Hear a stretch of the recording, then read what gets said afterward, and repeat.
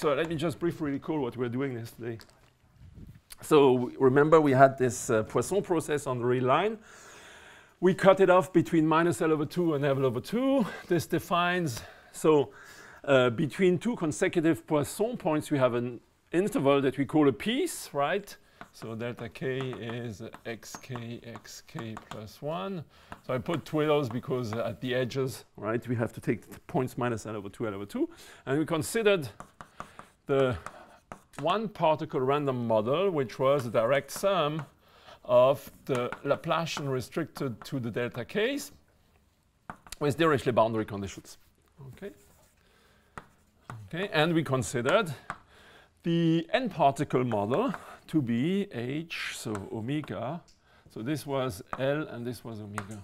To keep my notation of yesterday, n u l to be what? To be the uh, sum. So I write it briefly: h omega l tensor uh, tensor uh, one plus direct plus one tensor uh, tensor h omega l plus the interaction term u of xi minus xj, i less than j, and u was a non-negative function uh, assumed to decrease at a certain rate. I recall this this morning at a certain rate at infinity. So roughly it should decay at least as fast as x to the minus 4. So we had, I put two theorems on the board yesterday, actually one theorem. Uh, so I said that if I take, so remember just one definition, EU omega n u l, that's the ground state energy of this operator. Okay, and uh, psi omega n l u is ground state is a ground state, as I don't know in general whether ground state is unique. So it's any eigenvector associated to the eigenvalue E, U, L, omega n. And uh, I stated yesterday the fact that uh, omega almost surely we have that if you take the energy per particle, sorry, particle number is larger n, capital N, uh, U, L, this converges when in the thermodynamic limit rho, meaning that when n divided, so we are in dimension one, so the volume is just the length of the interval, which is L. So this goes to rho, which is a positive number, and uh, n goes to, or L goes to infinity. Right, this is the meaning of thermodynamic limit rho. And so this converges to some function, and moreover, the important thing, let's say the interesting result. So that's that's essentially because the model is ergodic, right? Just ergodicity is enough to prove such results. So it can be done in much more general, in a much more general framework, and it was done in actually Veniaminov, uh, maybe I put his name on the board, uh, PhD thesis about, when was it, two, three, yeah, three or four years ago. Uh, he proved such results, convergence for rather large classes of uh, uh, models of this type right? Not only this one. And so this had uh, an expansion which was E zero rho. So this is for zero potential plus uh, remainder term. So let me just, yeah, pi square gamma star. I won't recall what gamma star. It's going to come up later on. Log rho to the cube times rho 1 plus little rho of 1. And this little rho of 1 goes to 0 when rho goes to 0.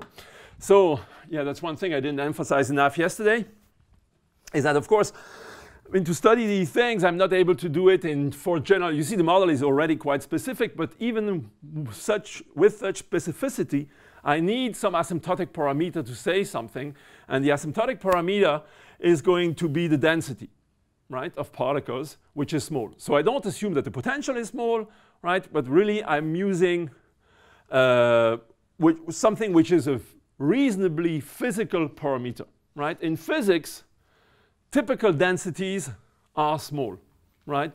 For example, um, not in the case of uh, not in the case of electrons, but if you take the case of bosons, the densities of bosons when people look at Bose-Einstein condensates are 10 to the minus 6, right? So they are reasonably small for such asymptotic theories to bear some meaning in physics. Oops, sorry. And so I promised you some information on the ground state. Uh, so uh, let me put the plural, ground states as I don't have, actually, yeah, I don't have a result, a general result, whether it's, uh, yeah, ground states. Actually, I have a general result, so maybe it's the first thing I say, ground states. So uh, was first theorem, theorem. So remember, for u, we had some assumption of decay at infinity, but this assumption will presumably hold or can hold for some special u's. And uh, if u is actually analytic, then we can prove that uh, for almost uh, omega, almost surely, for any L and N, psi, so this thing, uh, yeah, actually I think yesterday I called it phi, okay, but the psi u omega n of L is simple right? The ground state, if you know in addition on your potential that it is analytic, it's an analytic function, right, which may be satisfied, this doesn't contradict the decay assumption that we have, uh, then we know actually how to prove that this thing, it has a single ground state. Ground state is dimension one. Okay. So, and in the sequel, when I will speak, I don't want to assume that U is analytic, but when I speak of the ground state, I speak of any ground state, right? This is going to hold uniformly for any state in the ground state, right? In the ground state, uh, in, this, uh, in the ground state subspace. So before actually telling you what the ground state for the interacting model is, I'm going to rewrite the ground state for the non-interacting, which in this case is almost surely simple when u equals 0. You remember we said we have to take the, for the ground state, we have to take the n lowest eigenvalues, meaning the n lowest, the n vectors corresponding to the n lowest eigenvalues of this system, right? And we just take the anti-symmetric tensor product of these n states, okay? This we can represent in the following way in this graph, on this graph actually, I'm going to plot in the abscissa, it is the length of the pieces.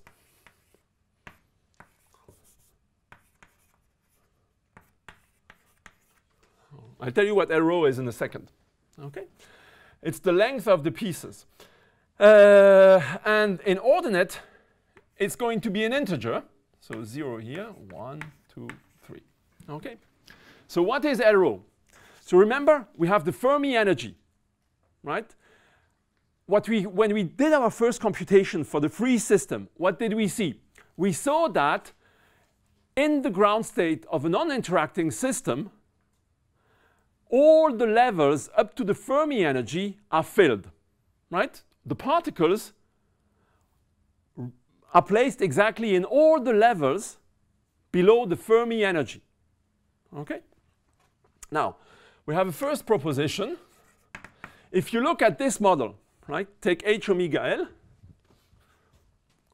and take the counting function of the eigenvalues of h omega L less than E. Divide this by L.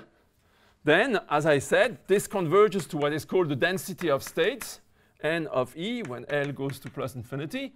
This is omega almost surely, right?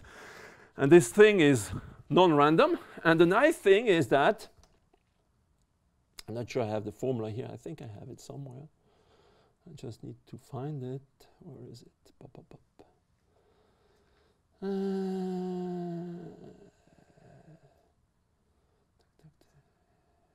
oh yeah, here it is.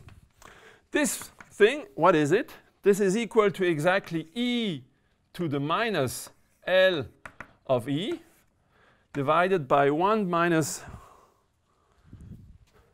e to the minus L of e, where L of E is the square root of pi over E. Right? So in this case, you can actually compute this explicitly. By the way, the proof exercise 3. Right? That's the exercise number 3. Compute this explicitly. Okay? And you get a nice closed formula. Sorry? The capital L is, is, the, is the length of the cube? Exactly. That's the length of the interval. Right? It goes from minus L over 2 to L over 2. Capital L is the length of the interval. Okay? And uh, what you do is you take the counting function, divide, and of course this is correct. I didn't say for E non-negative, right? For E negative, this is zero. In the spectrum is positive. Okay? So in fact, it's not, not a one-dimensional. Oh, this is one-dimensional. Here we have just a single line. This is a, that's a one-dimensional model, right? So it's one-dimensional. This is one-dimensional. This is one. This one is not, right? I mean, this has many particles, so each particle counts for one dimension in the limit of infinite many. But this is just one-dimensional. Okay? So you can compute this, and what do I call L rho? Well, you remember, in the free system, we defined the Fermi energy.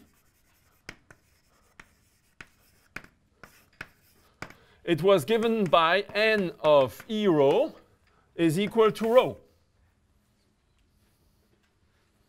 Right? N of E rho is equal to rho. This was a definition of the Fermi energy, E rho. And now what I call L rho is exactly L of E rho by definition, where L of E is this. What does this correspond to?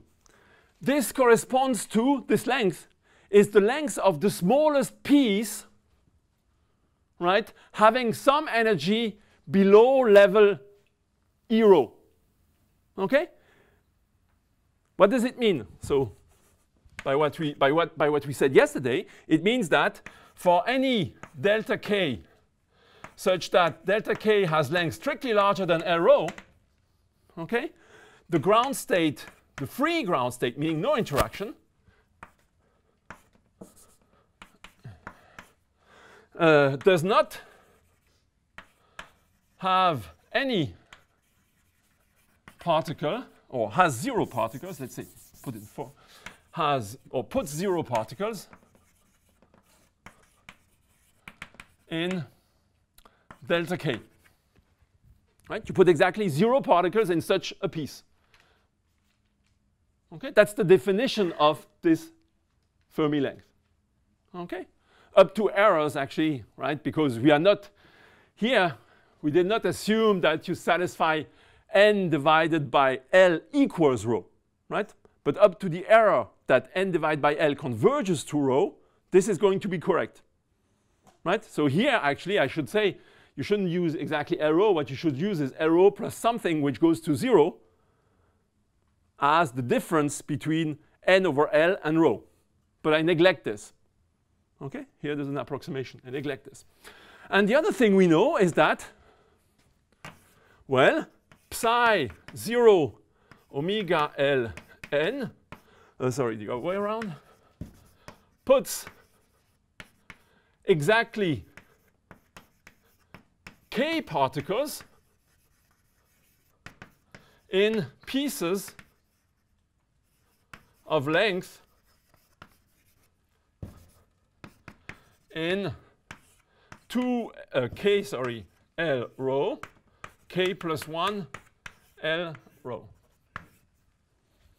Right? That's exactly the same thing. If you have a piece that is of length comprised between k rho and k plus 1 L rho excluded, then how many levels does this piece have below energy E rho? Well, it has exactly k levels, right? Because the eigenvalues for such a piece, remember, the eigenvalues are given by pi j is an index, right, integer, divided by the length of the piece squared. And what you want, you want this to be less than E rho. Right? What does it mean? It means that this is equivalent to saying, looking at the definition, uh, yeah, looking at the definition of L rho, L rho, it's the same thing to say that delta k divided by j uh, should be larger than L rho. If you want the jth particle, right, the jth eigenvalue of Laplacian, to be inside the piece, you need this.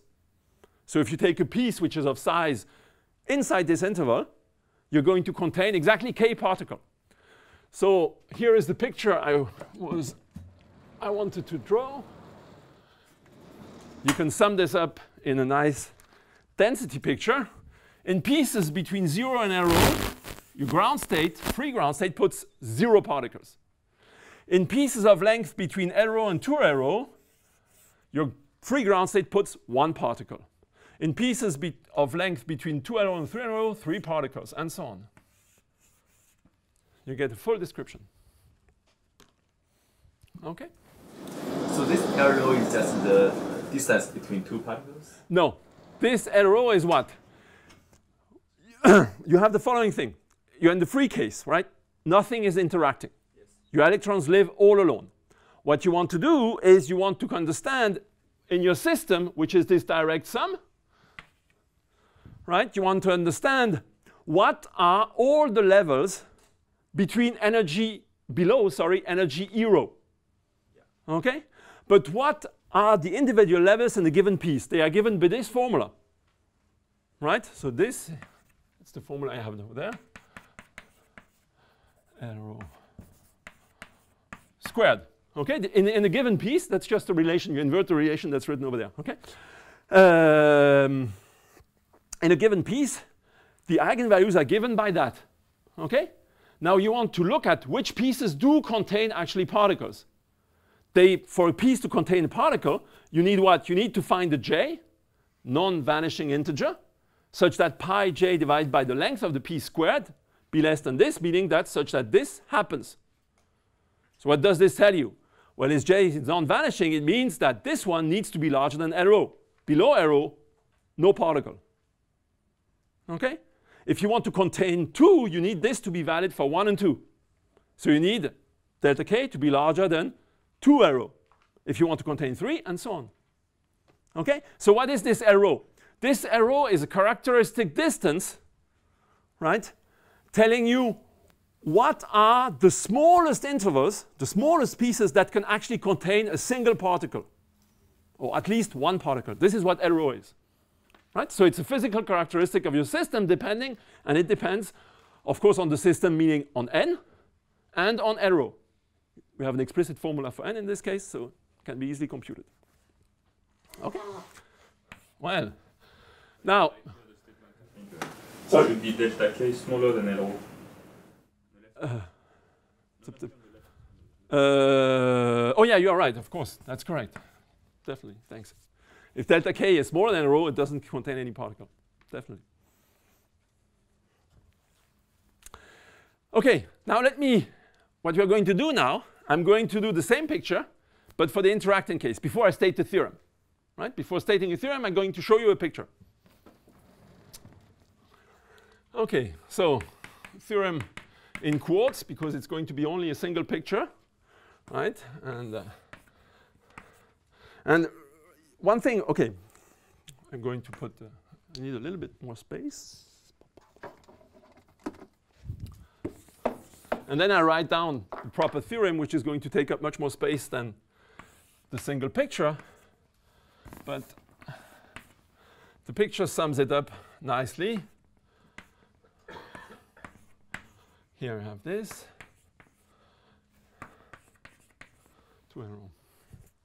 Okay. Uh, in blue, I repeat what I had in the non-interacting case. Okay, that's non-interacting case, so that's and in green it is going to be u non-vanishing, right? u non-vanishing, but of course with our assumptions. Okay, and don't assume that u is strictly positive everywhere. It's just to say non, yeah, let me write it. So this is, let me write it this way with our assumptions, okay?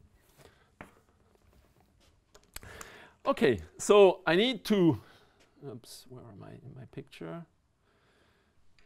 Here there are a few numbers to remember, which of course I never know by heart. Okay, so here we have one threshold. I put it in green. This is L rho minus, well, some constant that we already saw. It's the gamma star that came up in the formula above there, times rho. And here we have another thing, which is, oh yeah, one thing you should, okay, I should do it in, I should do this thing, but trying to keep the sizes of the objects. So this was green, sorry, this was green. And keeping the sizes of the object is this, and this is, well, L rho is large, right? Remember, rho is small, L rho is large. So of course, this is supposed to be, as you're going to see, order 1. And so this is 2 L rho minus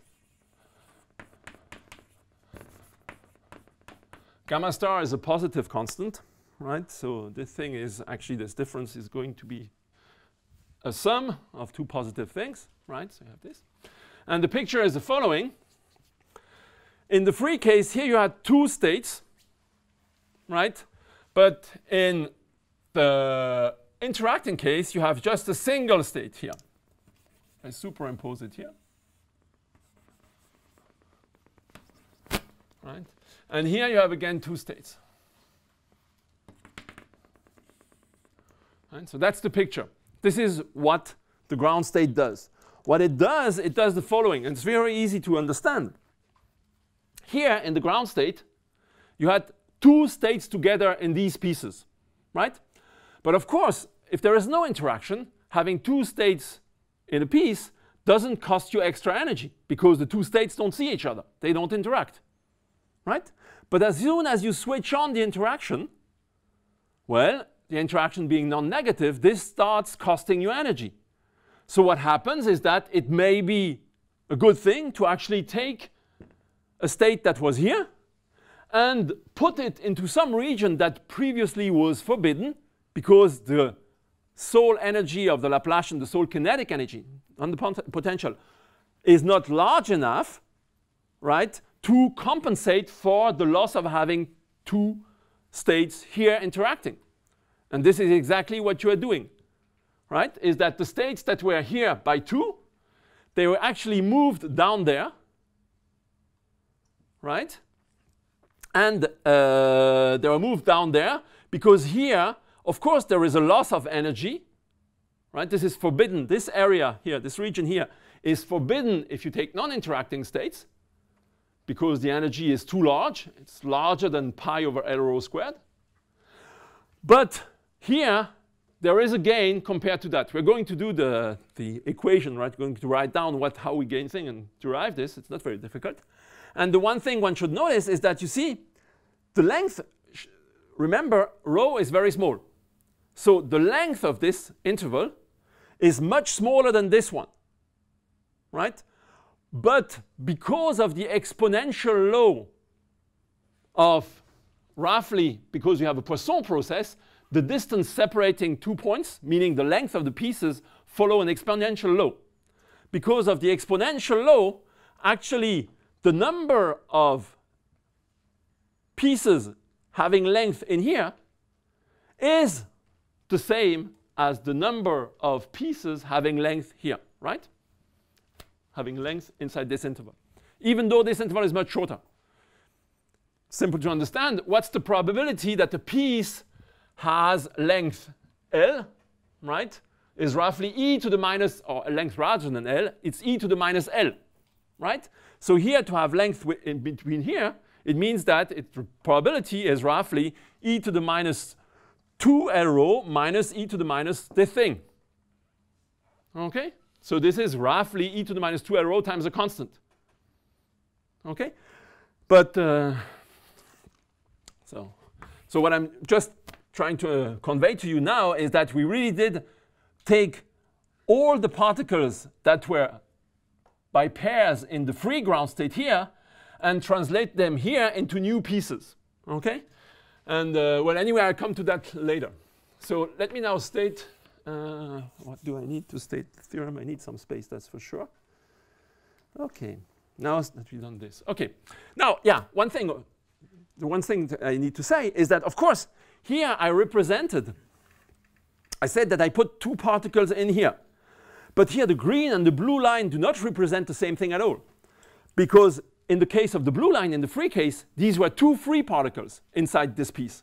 Whereas here, in the case of the green line, these are two interacting particles, right? So these are actually really two states that you cannot separate from one another. Okay? So, a little bit more space. Uh, okay, how should I go about that? Well, I need to define something. So take a piece of length L. Uh, definition. Okay. Let, uh, let me call, well, I call it zeta 2. Uh, no, I call it zeta. I don't need a zeta 2. Let zeta uh, be sub L, be the ground state of, well, what you already saw, it's the operator that we had yesterday to define the constant gamma star.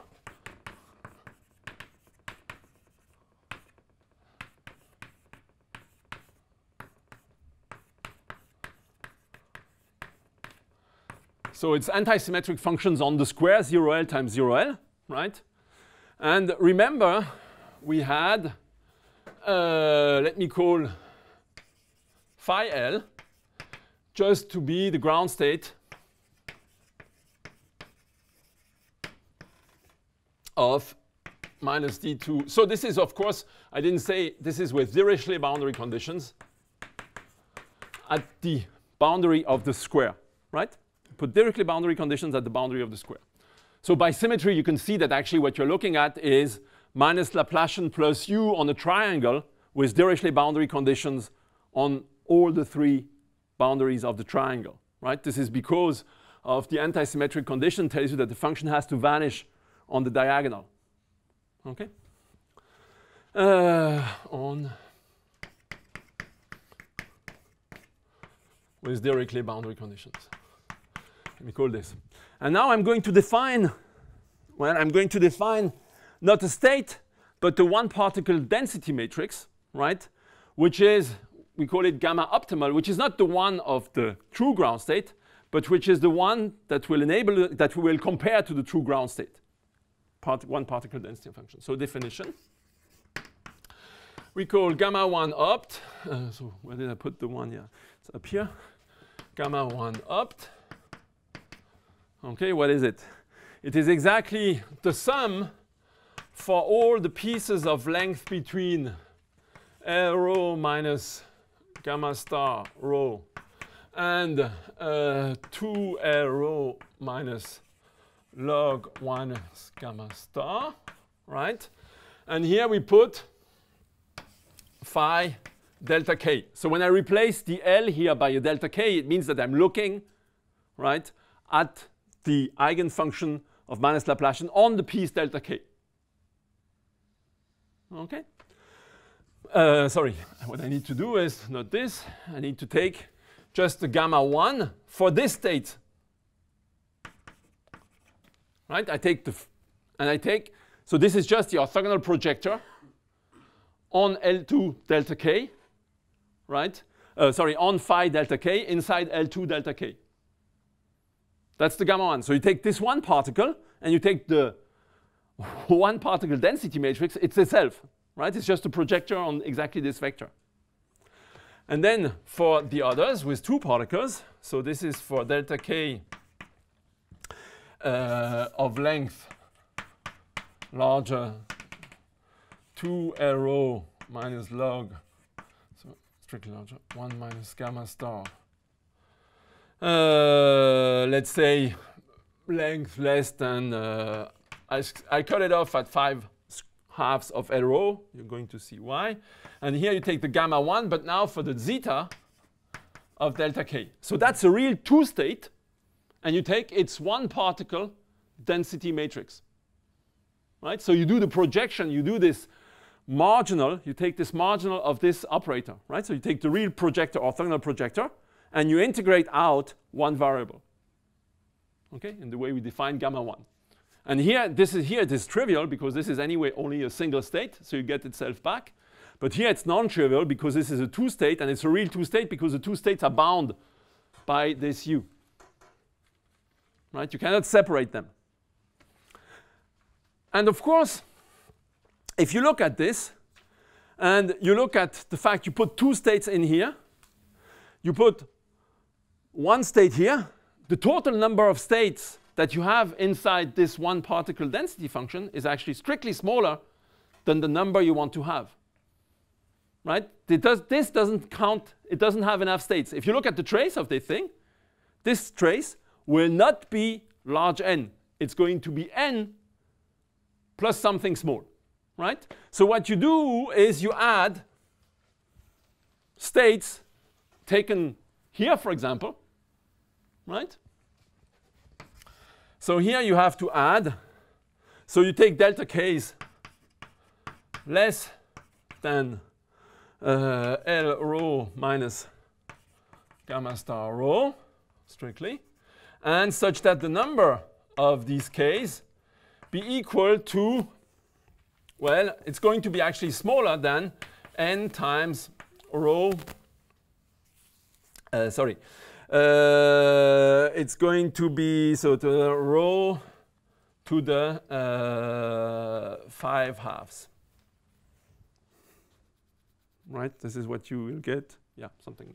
Yeah, okay, it's correct. Okay, because here, the number of states that you have in here, that's a computation. We're going to do it later on. But the number of states that you are doing, going, that you have in here, right? This contains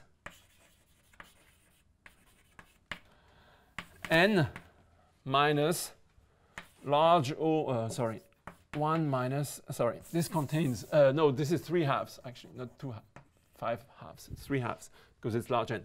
This contains n 1 minus O of rho 3 half states. Right? If you do the counting, you count the number of intervals. These intervals are random, right? But what happens is because of the independence inside the Poisson process, the number of intervals satisfying such an inequality converge, right, to the average number with a very good, I mean, rather fast, so it has a very good precision, okay? And you can compute this just by uh, standard, I mean, I'll, I'll, do some computation like that a little bit later, by standard statistics for the Poisson model, okay? And what you see is that if you take these two together, all the intervals here, you put two, these intervals weigh two, they contain two states. These intervals weigh one, they contain a single state. Then you sum, you get something which is this, where this is actually strictly positive. It's there is an upper and a lower bound of this size here, right? And so what you do is you put the remaining particles below, but, and uh, so and here, of course, you need to put something, and you to just take phi delta k. So the interesting thing is saying, well, what am I doing? I put any state here, right? Yeah, I just put something random right? That that's not already in there. I could put it again, I could put another state again, but then I would change rank. What I want is want this to be of total trace, but actually I could, because I want the trace to be, I could put anything actually.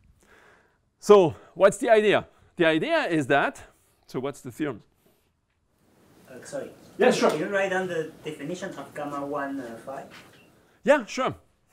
In this case, because this is a single state, I'll put it over there. Phi 1 is just a single state, right? So phi 1 delta k is a function in L2 delta k. So gamma 1 of phi delta k is just, uh, if you want xy, is just phi delta k x, phi delta k y. I don't need to put bars, right? The things are all real, so I forget about the complex conjugates.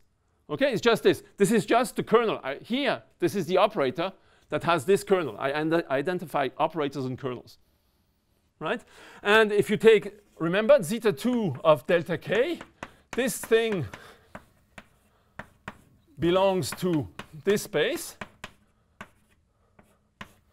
And if you take gamma 1 of zeta delta k, this is equal in x, y. It's also an operator in one particle. And it's equal to the integral of zeta delta k x z, zeta delta k uh, y z. Uh, you don't remember. You don't really mind whether you put signs or not. dz over delta k, right? And uh, I need to put. Uh, sorry, I have two particles, so I, what do I need to put? So one choose two. It's a two in front, right? I want the whole thing to have trace two, right? That's the definition. Okay, we had the definition in general on the board yesterday. Okay, just rewrite them. So if you had complex eigenvectors, you need to put bars, but okay. Yes, sure. What is exactly the number of k smaller or equal entities? Sorry? There you have the sum over. Yeah, exactly. You take intervals that have length here, below this number, and you take just the number of them, right, to be less than this, meaning with a constant, well, actually to be exactly the number that is missing here. Would you take random intervals? Yes, take any of them. Exactly. You take you choose you want you can choose them as you want. Never mind. It will not change anything. Okay. Uh, it gives you some better results if you took, take them as close as possible. Well, actually, maybe not anything. We can take them. Uh, I take them of length larger than one half of L rho so that I have a minimal length, right? I don't want the length of the interval to be too small to blow up energy in an artificial way, right? So I can take them here because there are enough intervals. See, between L rho and one half of L rho, I have what? I have L times 1 over, uh, so I have E. So what's the number of intervals? What's the number of k's? Such that delta k belongs to 1 half of L rho and 3 quarters of L rho. Right? This you can estimate the number of k's such that delta k is in here. This can be estimated. It's equal to L, right? That's just law of large numbers, right, for the Poisson intervals, times e to the minus 1 half of L rho minus e to the minus 3 quarters of L rho. So it is what? What is this? This is e to the minus 1 half of L rho 1 minus e to the minus, oops, sorry, uh, 1 quarter of L rho. But remember, just do the small computation, I have it still above there. Look at what's the definition. What is the definition of N of E? Right, we computed it. But what do we have? We have that L rho, remember, L rho is large, rho is small, L rho is large because of the definition of, because of the formula for N of E. Okay? And so what it means, it means that N of E is roughly e to the minus L of E. Right? Where E small, E rho is small. It's roughly this. So what do we see here? We see that we have roughly square root of n of E, right? And here we have 1 minus roughly fourth root of n of E rho. But what is n of E rho by definition? It's rho. So this is L divided by square root of rho, 1 minus fourth root of rho, roughly, right? And what is this in terms of the total number of particles? Well, what is the total number of particles? It's L time rho. So this is n divided by square root of rho. Right? And you see that you have many more such intervals than you actually have particles. So there are lots of space you can actually put particles in without any cost. Okay, and you can do it in such a way actually that the particles, well, I didn't, should be uh, a bit more precise, but the thing is, with my assumptions on u, particles, even if they are very far away from each other, interact, right? But the interaction is decaying. And so what you can do is you can actually, because you have so many intervals, interspace them, right? So that the interaction is also negligible. Okay, it's not completely obvious a priori, but it's really the case. Okay, so, but now I, what I did is I just defined this. I need a definition, right? And the reason why this is actually not important, the reason why this is not important is because of the following, is because I will never be able to give you an exact formula for who the ground state is, or who the complete one particle density of the ground state is, right? but I will be able to do it up to a certain precision. And that's exactly the cutoff, right? This size is exactly the cutoff. It's giving me the precision at which I want to work. So you first fix a certain precision, which is roughly in my formula that I have above there. Remember, in the formula of EU, you have this little o of 1, right?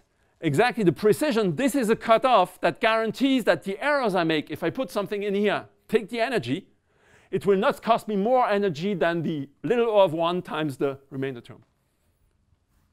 Right? That's the whole thing. So you're allowed to be uh, you're not allowed to be too greedy, right? I mean, uh, otherwise it's just untractable. And so the theorem is the following now. So to fix this theorem, so there exists some constant.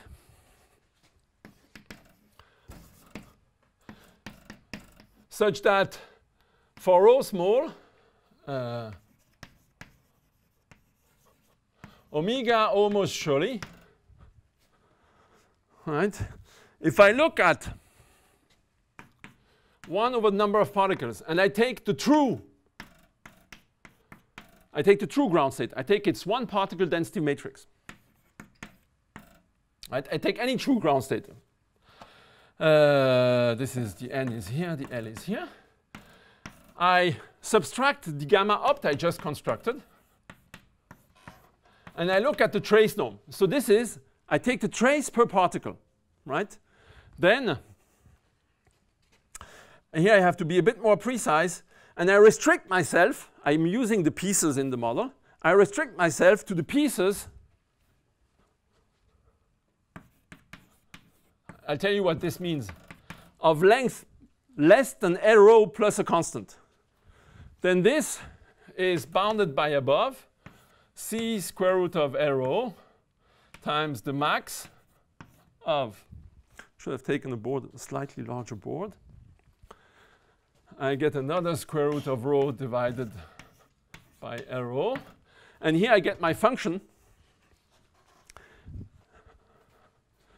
Remember, I had a way to measure the decay. It was a function z. Right, remember the z, I just recall the definition.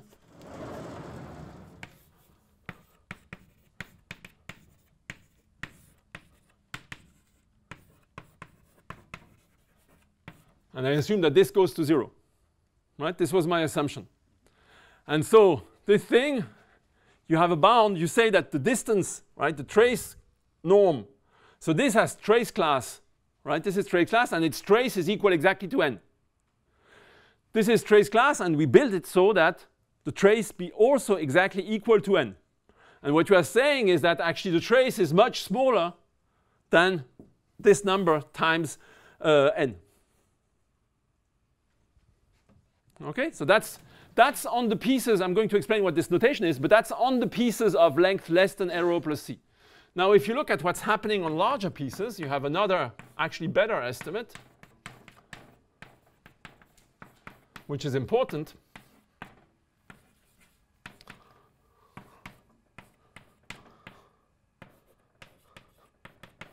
On larger pieces, you have that this is less than C times rho times the max of 1 over L rho.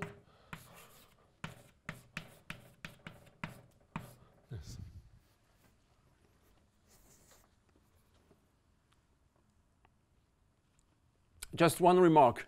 So where I need to define where what? Where? Uh,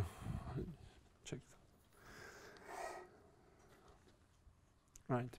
Well, you can look at H, right? So this is L2 of uh, 0 minus LL, minus L over 2, L over 2, sorry. This can be written as the sum for the L2 over the delta K's for the delta K's less than rho plus C plus direct sum L2 delta k's for the delta k's larger than rho plus C. You have the orthogonal sum, right? And uh, what you are doing here, so you have an orthogonal projector.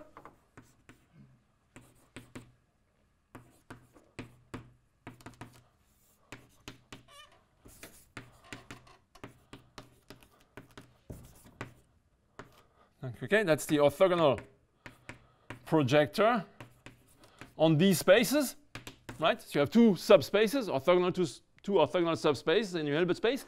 You have two orthogonal projectors corresponding to projection on one orthogonal to the other one. Okay? And the norm that trace less than rho plus c is just the trace norm for the operator when you're restricted to this. Oops. Okay, it's just this. So we're looking really at what's happening on the pieces of length rho plus c, less than rho plus c, and of length larger than rho plus c. And the first thing, you can forget about this. Imagine that you take now u. Imagine that you take u exponentially decaying. If u decays exponentially,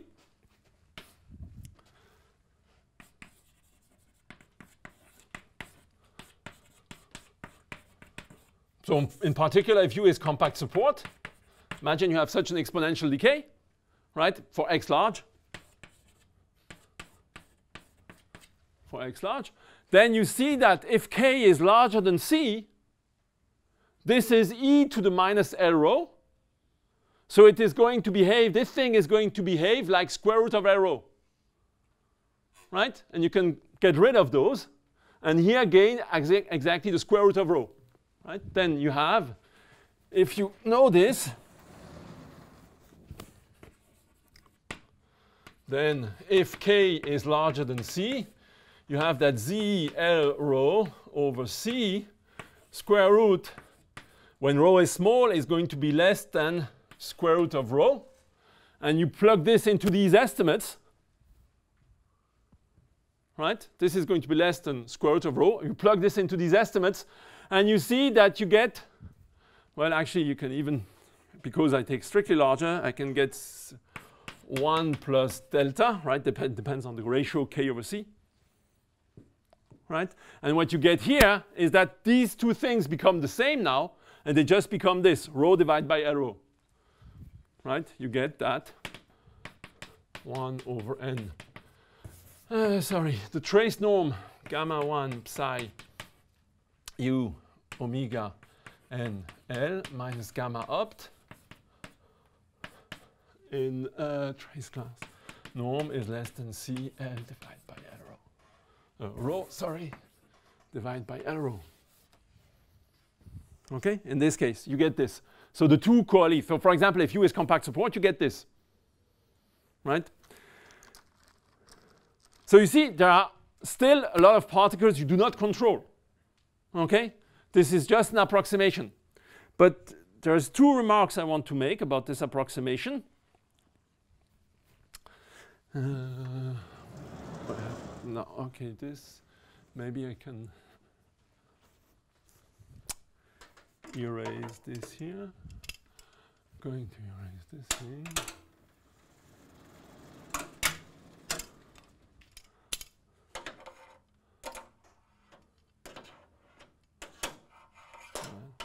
guess that's the most stable. Uh, okay, let me shift this one upward. Good. Uh, this one goes down. Okay, so so this gives me a description of the ground state, right? Of the ground state of the interacting system. But of course, this description is through an approximation, right? I have an approximate ground state. The question, a reasonable question, is the following. Do I actually do anything? Did I do better, for example, as if I would have taken the free ground state? I mean, the free ground state, by the, by the very formula for the energy that I actually just erased, is also an approximation, right? Because the error term is rho divided by log rho cube. And so it's reasonable to ask if you, well, you did all this work, right? But did you do anything better? Okay? Is gamma 1 opt any better than the gamma 1 of psi 0 omega n l. And of course, you guess the answer by the fact that I asked the question, right? It is, indeed, it is. If you compare, if you take the same trace class norm per particle between gamma 1 opt and gamma 1 psi 0 omega n, right? This thing is of size what? It is of size, uh, you can compute it exactly. This is actually equal to n, sorry, n times, uh, what did I say? n times rho times gamma star 2, 1 plus little o of 1, right? And you see that, where is it? It's up there.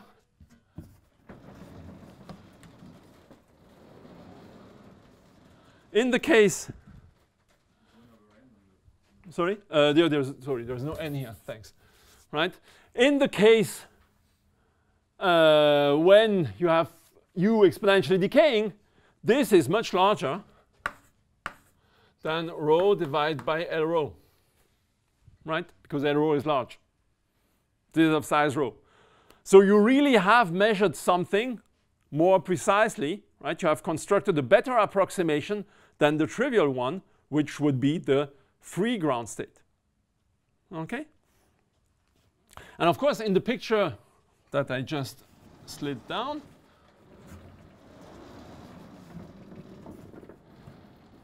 oops, it is. These states are exactly the ones that make up this difference, right? Because these are anyway the, the ones that I have uh, in here, right? The remaining ones, the remaining ones that I put arbitrarily, they play, they're in the little of one here. But the ones who really play a role is this difference.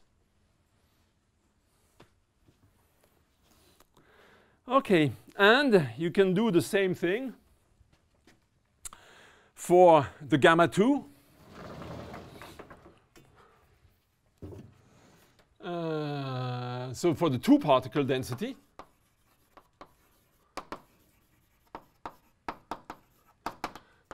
so theorem, you have an analogous result, so the same thing.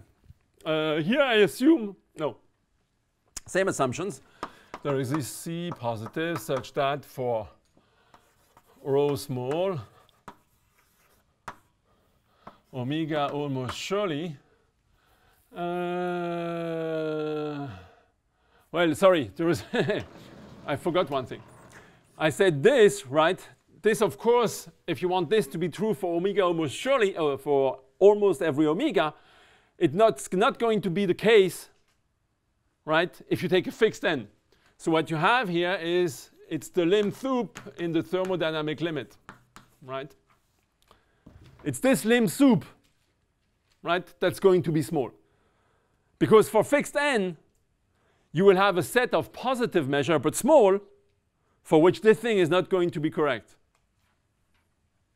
Okay? So here, this is the lim sup in the thermodynamic limit. Okay?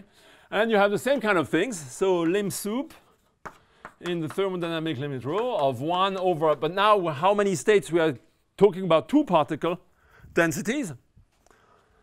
Well, you have two types of states. So here you have the gamma 2 of psi u omega uh, n l minus, and here what is this?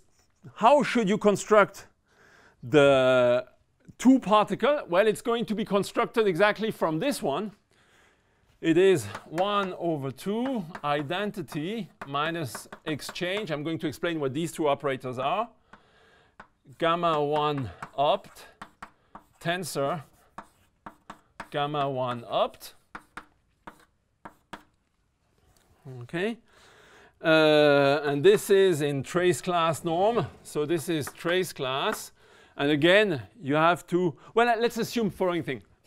Assume, just to make it simple, uh, let me put as an assumption,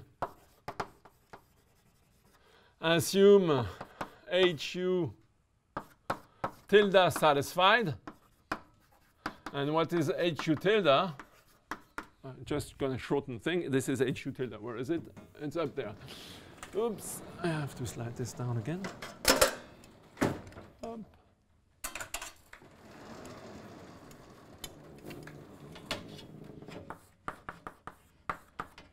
This is HU tilde, right? Assume that the thing is exponentially decaying with a sufficiently fast exponential decay.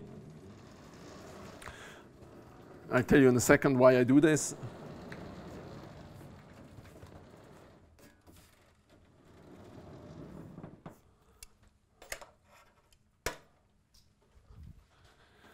Well, then you get that this is less than C times rho divided by rho.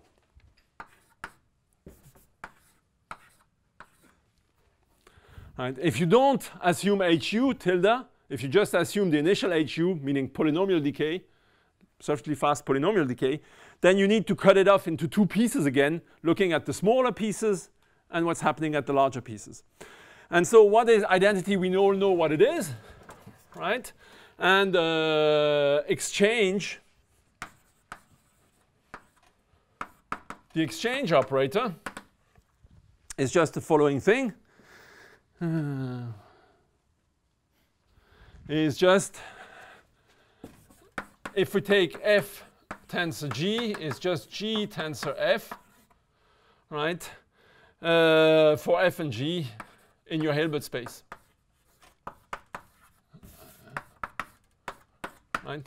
So that's, in this case, the Hilbert space is just the exterior tensor product, right, of L2 of the interval by itself. Right? This is living on the whole interval. Right? So the Hilbert space I'm considering here is exterior tensor product of L2 by itself. Okay. Well, You have to put this exchange operator so that uh, the operator is anti-symmetric. no, this one plays exactly. This is why this one, this operator as a whole, makes the whole thing anti-symmetric. Right? You can do the computation, but the exchange operator itself does not preserve anti-symmetry. But if I take identity minus exchange, this does. So this preserves anti-symmetry. Okay. Well, how does one prove this? So of course I won't give complete proofs, right? It's a bit long, but I hope to be able to give the main ideas. So the first idea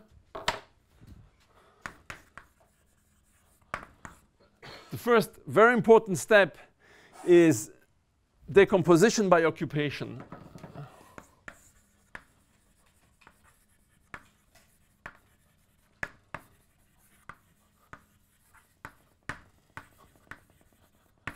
Meaning that we can locate particles inside pieces in the following way.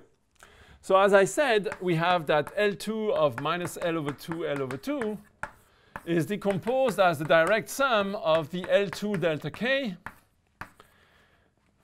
Sum of the K, this is a random number, but roughly the number is size L, right? Because I have a Poisson process of intensity 1. It's not size L, it's L plus some lower order terms with a good probability. And of course, this means that if I look at, remember, I was looking at the exterior tensor product of this nth times.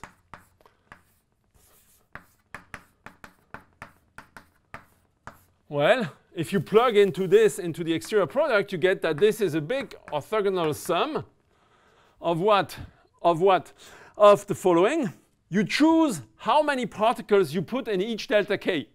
So you do the following thing. You take q equals, so let me call this from, I order the delta k's, This is a random number, right? But for any given omega, almost surely for any, uh, for almost any omega, I have this random number. It's the number of the pieces. And I can do the following. I take the m tuple, q1, qm, which is in n to the m.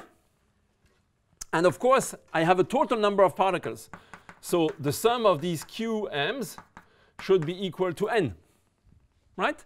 And what I do is I put exactly q1 pieces in the interval delta 1, q2 in delta 2, qm in delta m. So it's going to be the exterior tensor product, right? Uh, actually, because these are on, well, I can take the following. I could take this. It doesn't, yeah, I write it in this way, but you're going to see that it doesn't change anything. And here I take from k equal 1 to qj L2 of delta delta what? Delta, well, I call it this k actually. I take this q and k here, delta k. Okay, and this I'll call h sub q. Okay, that's just because of this decomposition. If I put this into the anti-symmetric tensor product, I just expand. And if I expand, I get this. But of course, here I could replace this exterior product by a cross product, would be the same thing, right? Just a tensor product, standard. Bec because the delta k's are disjoint. Okay, that's because of the jointness of the delta k's. Okay, and now the nice thing is the following result. Okay, so I call this HQ. Uh, this is a closed Hilbert space, right? These are closed Hilbert spaces. You have this direct orthogonal sum.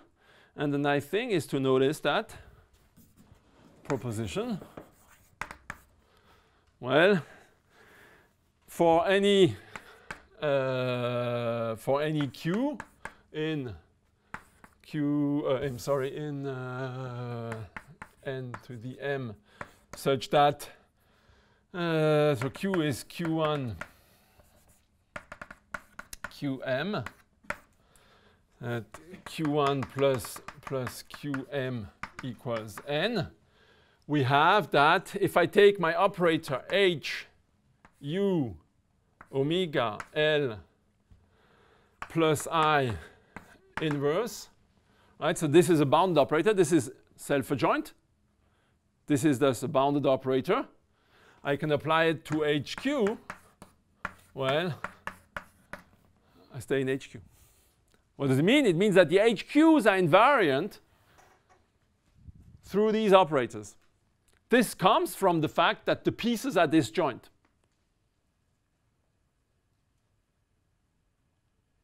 Right? What does it mean? This immediately tells you?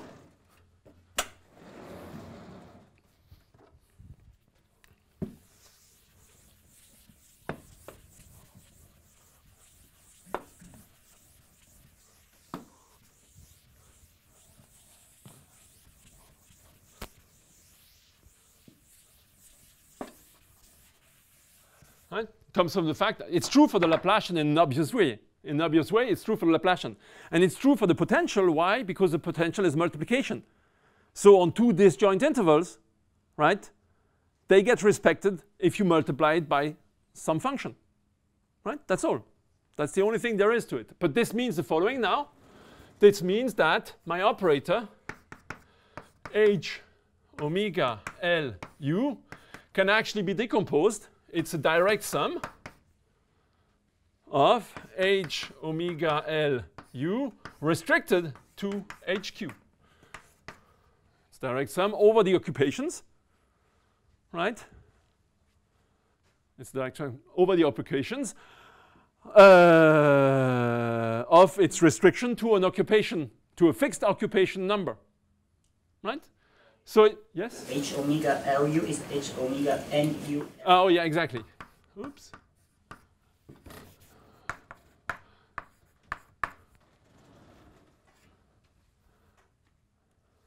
Okay, you have this. So it means that if you want to look at the ground state of this one, this is a direct sum. You just need to study the ground state of those. Okay.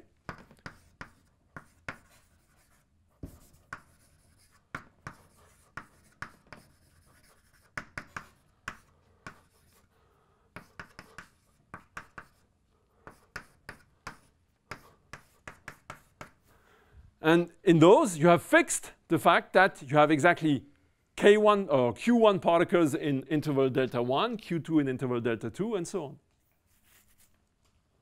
Right?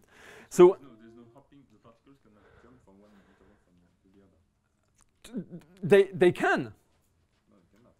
Well, they cannot in the free case, but once you put the interaction, they can. But what this does say, right, it just says, it doesn't say you, uh, when, when, you, when you think of hopping, you think of dynamics. Okay, but here there is no dynamics. Okay, this is not dynamical. It just tells you that the ground state for this one is going to be achieved by one or more than one ground states for that one. When you say the the, the Hilbert spaces are uh, invariant by the by the resolvent, it means they're invariant also by the propagator. Yes, that's correct. So it means that the propagator cannot change cannot change the number of particles in intervals. That's correct. The propagator cannot change that. That's, for, that's correct. That's correct. Uh, okay, that, okay. In, in this way, yeah, I was thinking hopping when you switch on the interaction. Okay, but I agree with you. Sure, th- there is no hopping. Indeed, that's correct. You can just look at the propagator on each of these spaces and do the direct sum, and you get the propagator on the whole space. Definitely. That's correct. Yeah, in this sense, I was thinking of hopping when you switch on the. There is a change of configuration when you switch it on. So uh, actually, what you can show is that for a given Q, the ground state on this one is going to be non-degenerate, right? It's simple. This one is always simple. But what may happen is that you have may many Qs that are giving you the same ground state, right? This is something that may happen. But one thing that is true, lemma, is that ground state of h omega n u l is simple, right? Of course, not all of, not all of them are going to give you the ground state of the, the whole thing, right? And so the idea now is to understand, can we find, can we find a characterization of the Q that is giving you, of the occupation number that is giving you the lowest of these ground states, right? Now we're going to reason on the occupation numbers. Okay? So, therefore, I'm going to do the small computation I had in mind.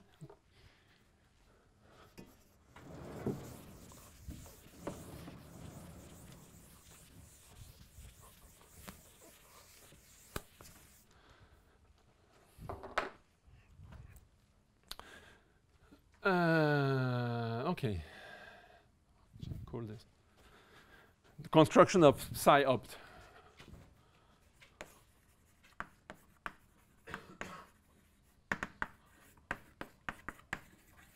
So this is a state which is corresponding to the gamma 1 opt if you want. You take gamma 1 opt to be the gamma 1 of the psi opt. So what I said is what we want to do is the following.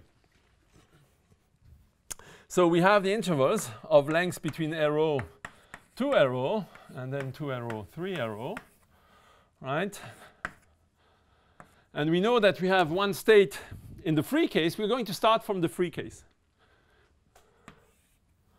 right?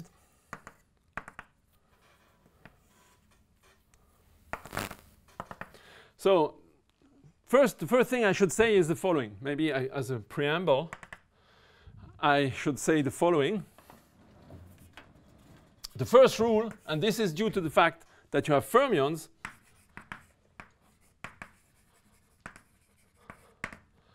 as fermions or fermions implies few pieces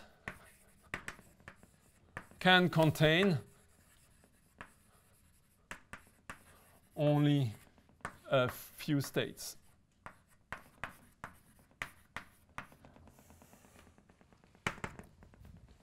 What does it mean? Be it for the interacting or non-interacting system. What does it mean? Of course, I can construct a state, I can pile everybody into the same piece.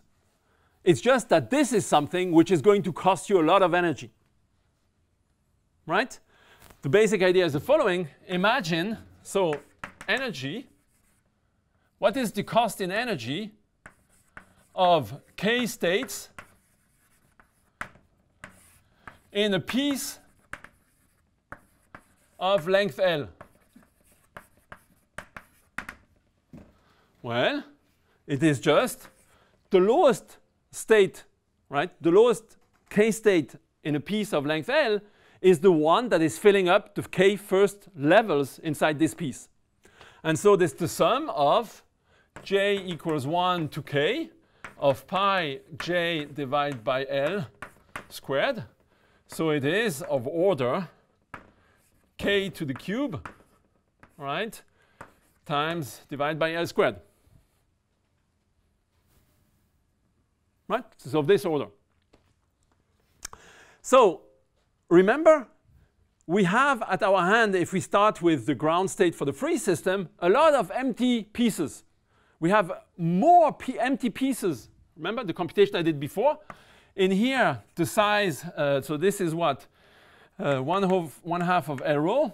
Within here, we have more empty pieces, many more empty pieces than we have actually particles to place. Okay? And what's the cost of an energy of what's the energy cost to put one particle in such a piece?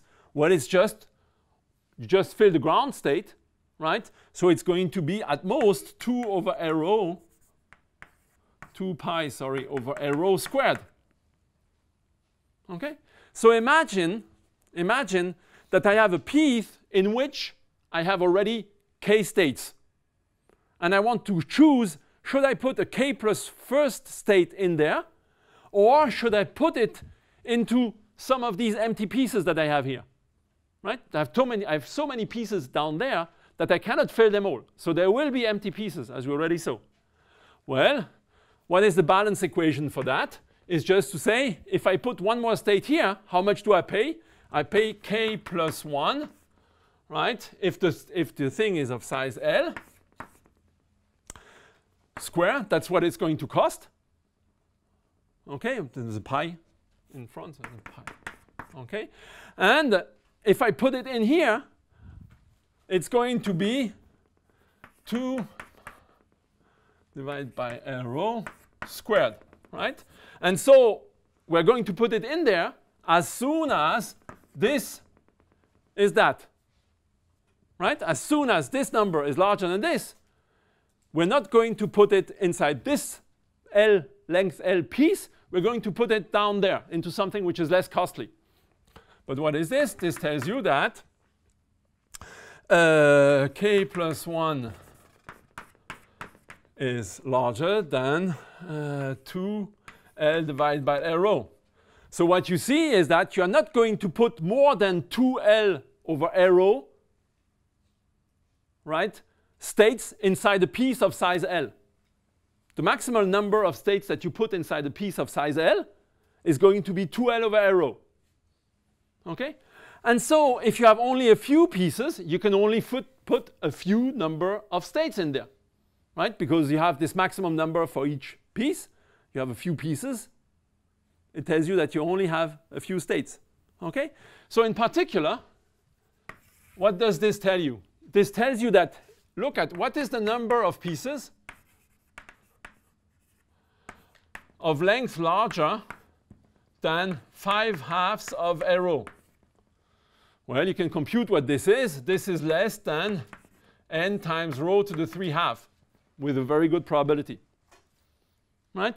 And so if you do this summing, you cut it into multiples of a rho, you do the summing, you see that these pieces contain at most uh, what? Something like rho to the 3 halves uh, times n particles. Right? You can show using this, this gross estimation, plus the counting of this, that to show that these pieces will not contain more than this many particles. Okay, this comes from the exponential decay. It's the first term that's more important one. Right? And once you know that they don't contain many particles, of course, they don't contribute for a lot of energy. Right? They don't contribute for a lot of energy. And this size of energy, when you divide this by n, this is rho to the 3 halves, which is much smaller than the remainder term you actually expect to achieve. Okay? So what I want to aim at is to say that anyway, all the particles that live in pieces above this, just don't care about because they contribute too little energy because they can contain, all these pieces can contain only too few particles in the ground state, in any state actually near the ground state as well. So we want to understand what's happening in here. This is the region of interest, right? The pieces, the particles contained inside these pieces. Okay. What you're saying is that the long pieces, they can each long piece can contain many particles, but then there are very few such. Exactly. This is what I'm saying. And that's the exponential law, right? If you take if you take another process, right, that divides the intervals in a completely different way, such that long pieces have a much larger probability of appearance, something completely different would come out. Okay? But if you take the usual random model, right? Uh, usual meaning if you take a model, imagine you take, yeah, one thing. I started here which uh, I'll come to this tomorrow, but the underlying model I have in mind here is Poisson, right? But Poisson has some universal features. If I take, for example, imagine you take an Anderson model, right? What is an Anderson model? It would be a potential of the following kind, omega gamma, and you put at every integer some non-negative potential right? Let's say V is compactly supported. And I would like, look, like to look at minus Laplacian plus this thing. Okay? Same Poisson. Uh, no, it's not Poisson. This time you, what you do is you do Anderson. So imagine that I do the following thing. I take a collection, I take a, a single side potential, right? And I put a copy of it multiplied by some random variable at every side of the lattice. Okay? And now again, you're interested in, and actually I talk about this tomorrow, but I'm a bit ahead of myself, but and imagine, just to speak about the quote unquote universality feature of the Poisson case.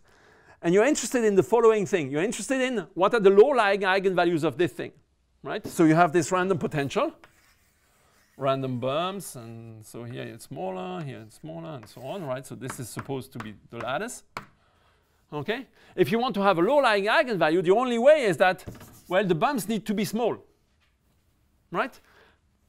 Because otherwise, the potential is going to push you up.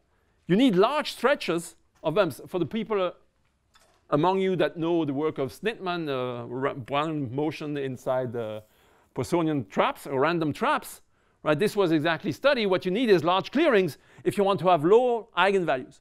But you see the probability of such large clearings because of the independence of the omega gamma is also exponential. It's of the same nature.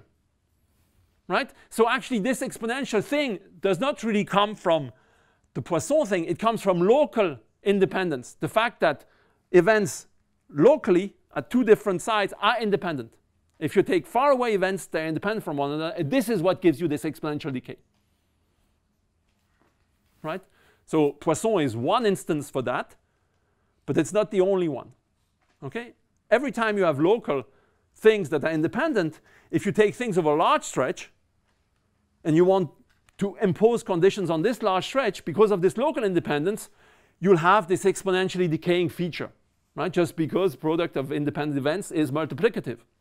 So if you want to impose many local conditions, if they're independent, it means that you have some exponential decay. Okay? So it's not really a feature of Poisson. It's something much more general than that, which is due to the local, or the dependency is, the, the, that the dependence is only local. So uh, let me come back to the main topic. So what I want to do now is the following thing. I can do it here. Don't have much time left, but this do for today. Uh, let me explain where the gamma star comes from. So remember, Remember, if we take minus Laplacian plus ux minus y on L2 0L tensor itself, or L little l, we know that the ground state E0 of L behaves like 5 pi over L squared plus gamma uh, yeah, I think was gamma L cube 1 plus little o of 1. So this is This is what I had before on the board.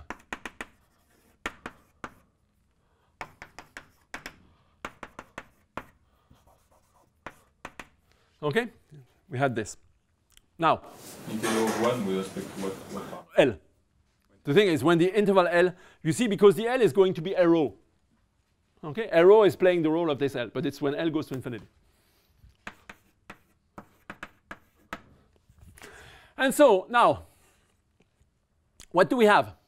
Well, imagine now we so we have this, and now I start. I started with my ground state non-interacting in here. If I switch on the interaction, I'm going to have to pay this price because as soon as you switch on this interaction, right, there is an additional cost due to the fact that the two things are repelled from one another by you. Okay? So what I want to do now is I want to compare, I want to compare the cost of, well, I can avoid this interaction by taking one of the particles, the one with larger energy in here, and put it down there. Okay? Okay, so uh, energy gain by moving one particle from uh, from what? From uh, delta k, which is length in 2 L rho, 5 half of L rho,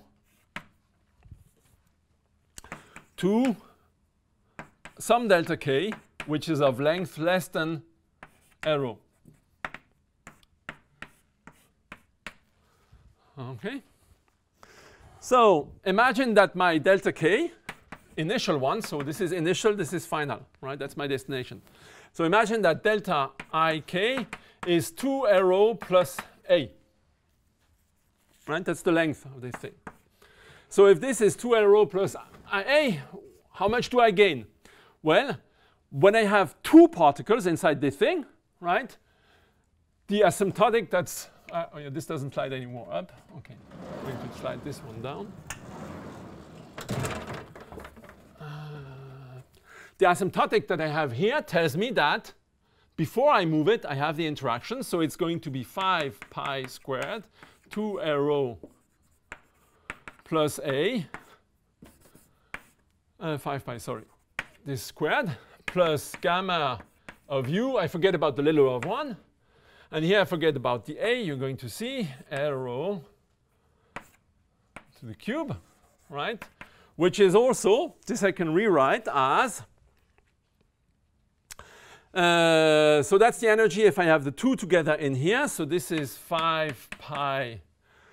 Uh, I'm going to write this as, sorry, the 5 is not in here. The 5 is outside. It's 4 plus 1. It's 1 square plus 2 square. So it is, the 5 is outside here. So this is 5 times this. So this is uh, pi divided by 2 uh, how should I write it? Pi divided by 2 L rho plus a squared plus pi divided by L rho plus a over 2 squared plus gamma u 8 L rho cube, right? That's the energy I have uh, in the beginning. So this is also, I can write as um, as what? Uh, I have pi over L rho squared, right? Minus A over 2 pi squared uh, over L rho cube, right? Plus pi over 2 L rho squared minus pi over uh, pi squared, sorry, over uh, 8L rho cube. And here I have uh, A, right? plus gamma of u 8L rho cube. Just do a first order expansion, right? Taylor expansion. Near a, a equals 0, right? Or a much smaller than L rho.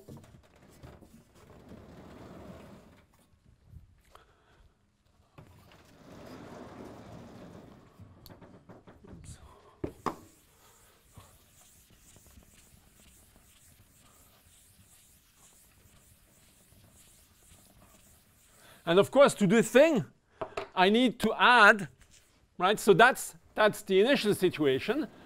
Uh, that yeah, that's the initial situation. And then what's the the final situation? So that's initial.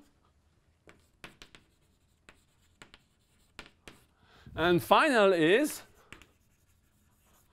well, I have pi divided by L rho minus B. So this is delta final k is L rho minus b squared. I put one particle here, plus I put another particle alone in here, which is pi divided by 2 L rho plus a squared. Right? The two particles are far away from one another, and each contributes for some energy. Okay? And so this is, well, I can keep, you see, I shouldn't have, I, I separated it correctly, but I shouldn't have split this. So this is pi over rho plus a squared plus pi over L rho squared minus plus, sorry, b pi squared over L rho cube. Okay? And I want to understand when is this one, the initial one, right, more energetic than the final one. So I want E initial, right, to be larger than E final. This is going to tell me when I have, when I can do this move. Okay?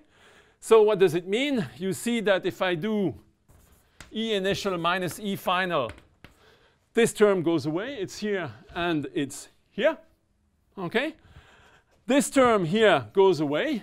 And what do I get? I get b pi squared divided by a rho cube uh, minus a over 2 uh, was it? Sorry. Uh, here there is sorry it's not this one. This one I don't it's this one. Minus uh, a over 8 L rho cube right? Plus gamma of u divided by a L rho cube. This should be positive. Right? Sorry. Uh, e final.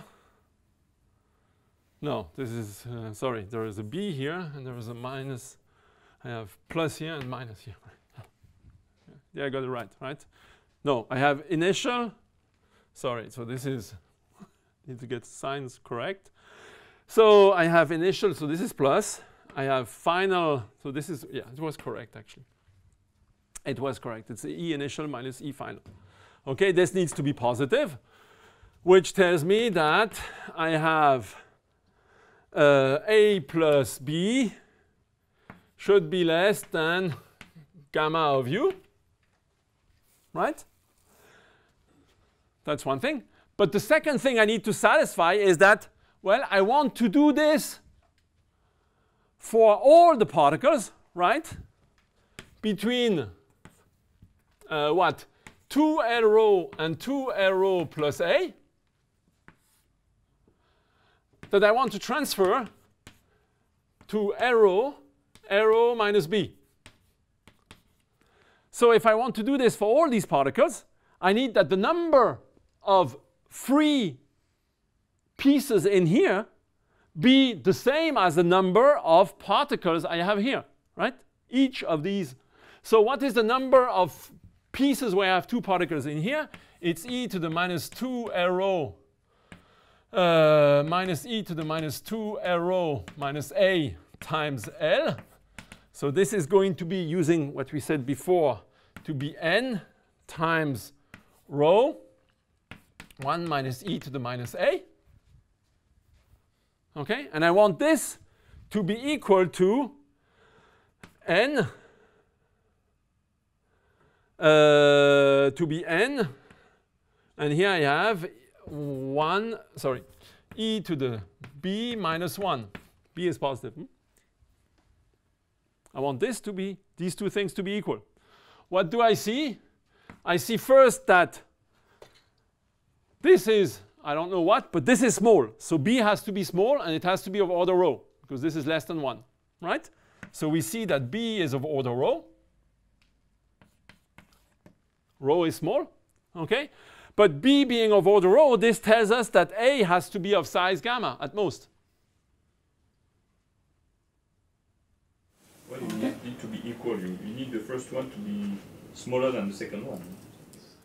Uh, you need You need the left, left pieces to be Yeah, okay, that yeah, you- you're right. You, you just need enough space.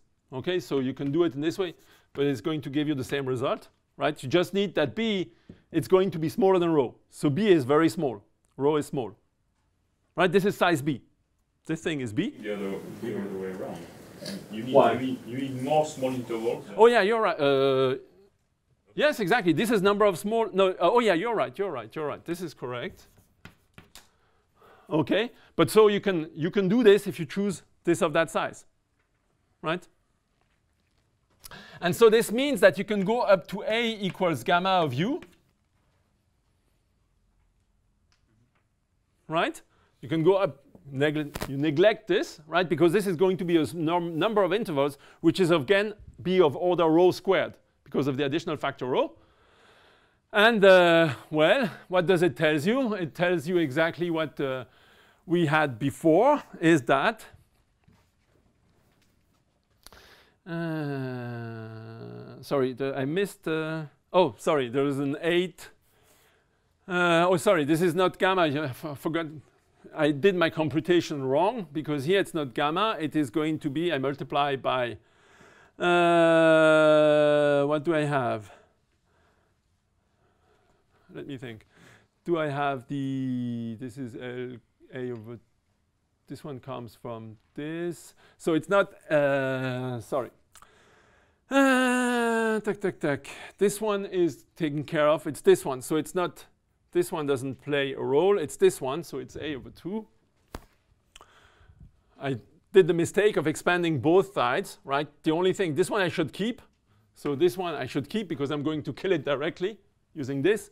And this way I should expand. So the, when you do the expansion, you just get this right? And actually, uh, do I really get this? No, uh, sorry, because of course, uh, I forgot the factor 2, so there is a 2 missing here, okay?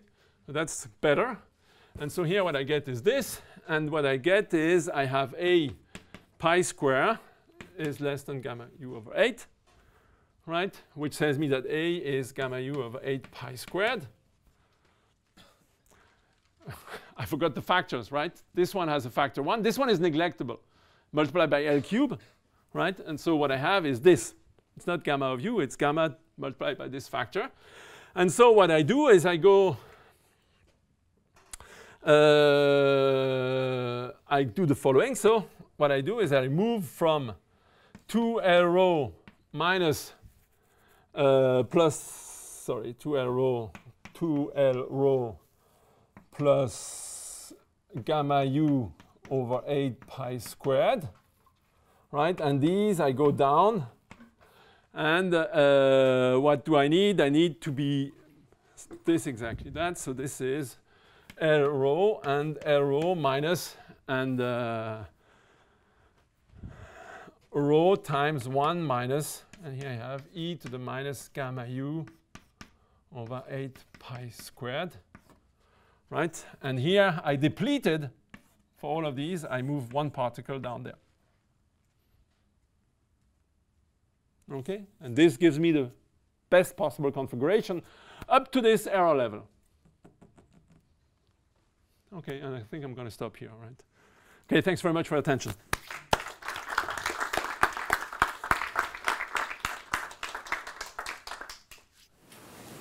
Okay, are there any questions?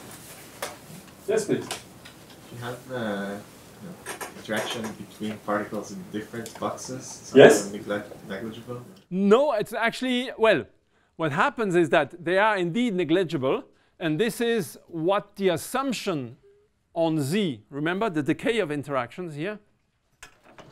This decay is less than Z to the minus 4, right? This guarantees that these interactions are negligible. Imagine that you had, what can happen is that you're going to have two neighboring boxes, right? But it's, that's an actually I'm- I, I'll talk about this later on, but imagine you have two neighboring boxes where these things are roughly of size L rho, right? This happens, the probability to have two boxes like that is about the same as the probability to have one box of size 2 L rho, right? But what makes the difference between these two things is that you see here you have one eigenstate in the free case living here, the other one here living here, okay? But when they interact, because of this decay, of the assumption of decay, the interaction energy is of order at least L rho to the minus 4. Whereas in this case, the interaction energy between this state and the next one, right, is going to be L rho to the cube. Okay? And this is what's going to make the difference. Okay, this is why these do not need to be taken into account actually in, in the further step of the proof. Okay, so indeed, uh, x to the minus 4 is roughly a threshold, meaning that if you go above x to the minus 4, right, if the decay is slower than that, then what is going to give you the main contribution, the main correction to the free ground state, so the free ground state is still going to be a correct picture up to a smaller number of particles, right? A number of particles which is small compared to n in the limit rho goes to zero. It's going to be of size n, but n's times a small constant, the smallness or the constant depending on rho. What is going to contribute now, if you assume that z does not go to zero, or if you assume that u does not decay at infinity as fast as x to the minus 4, is exactly being the interaction between pieces not of this type, but remote pieces of size L rho, because there are many such pieces. And now the interaction between these pieces is not going to be smaller than that. So this will contribute to main term. There's no proof of that. Right? This is just conjectural. There's no, we didn't analyze this, but uh, this should be correct. And then there is a next threshold, right? If you decay the interaction, if you take Coulomb interaction, 1 over x, then actually there is going to be a complete change in what the ground state looks like. It doesn't look like anymore, if you do some back of the envelope calculations, you can convince yourself that it doesn't look like anymore like the free ground state because you're really, in this case, want to place the particles as far away from each other as possible, meaning that the Laplacian is going to be negligible, right? But that still, there are no theorems as far as I know on this. Right? So you have phase transitions depending on the speed of decay of the interaction. Okay.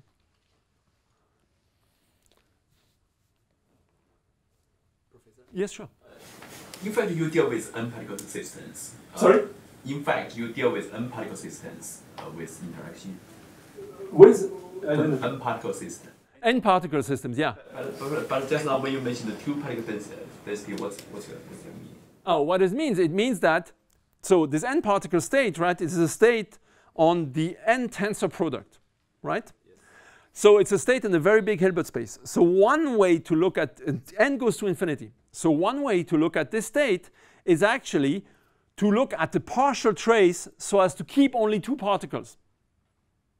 Right? You have this function. This is what I explained yesterday. So you have a true state of my system, right, is something which lives in this big Hilbert space. Okay? Now, but if I let n go to infinity, it's going to have more and more variables. So there is no easy way to take a limit of this, right? And you want to have a limiting statement. So what you do is you look at the projector, right? So phi of x, psi of y, so that's the kernel of the projector on this state. Okay? And x is equal to x1, xn, you have n particles. y is equal to y1, yn, right? And what you do is you take a trace, you integrate dz1 or dx1 or x2 dxn, taking y1, yj equal xj for j between 2 and n, or between k and n. So you project down, you integrate a number of particles. Right? It's just taking a partial trace, you do a partial trace of this thing. So this one now will only depend on k variables, the ones that you haven't integrated, k minus 1 actually. On k variables in this case. Right? So this is what is called the reduced density matrix or k particle density matrix. Right? So this is what this thing is over there. So this is for one particle, and on the blackboard below that, it's for two particles.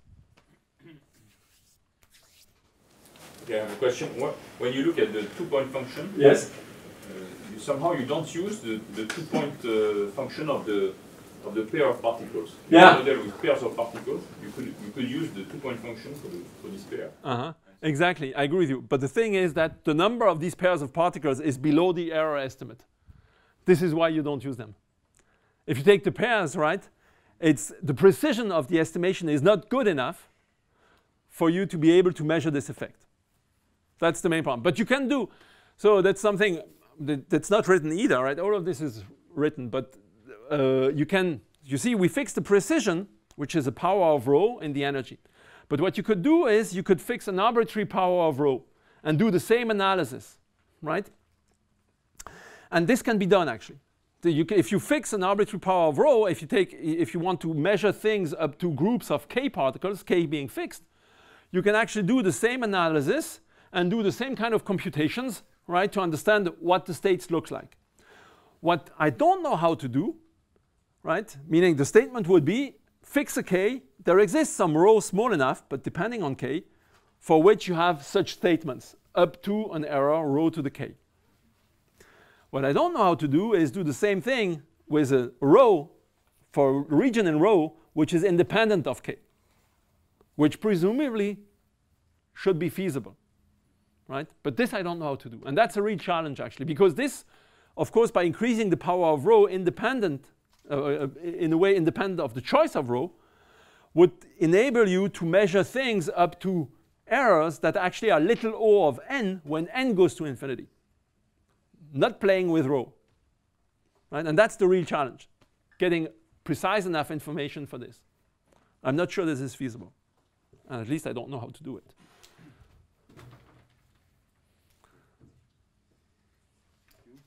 Other questions? All right. So let's thank the speaker again. Thanks very much.